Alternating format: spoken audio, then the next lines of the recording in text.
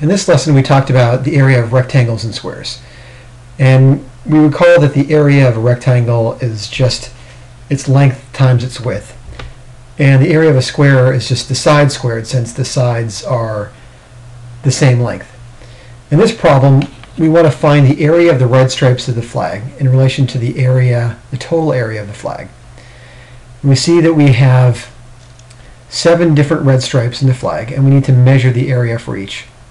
Well, we're given that the, uh, let's just call this the width of the flag, is, is going to be 65 or 26 plus 39.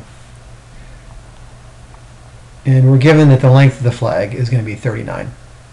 Well, we can figure out the length of each or the width of each of the red stripes because we know that each of the stripes, both the white and the red stripes, are of equal width and they sum to 39. So we count the stripes. We have 1, 2, 3, 4, 5, 6, 7, 8, 9, 10, 11, 12, 13.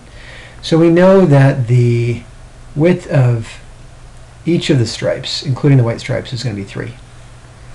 Well, let's work on the first set of stripes, the red stripes in the top, and figure out what their area is.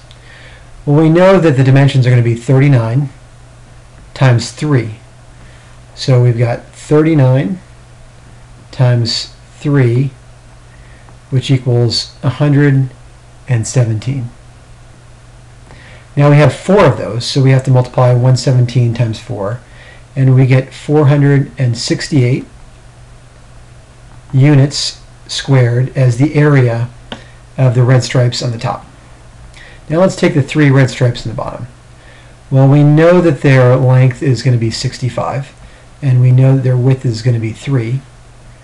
So we multiply 3 stripes times a width of 3 times the length of 65 and we get 585. So if we add 468 to 585 units squared, we get a total area for the red stripes of 1,053 units squared. Now we want to find out the area of the flag. And we know the area of the flag is the width times the length. So it's 65 times 39. And if we do the calculations, we find that the area of the flag is 2,500 35 units squared.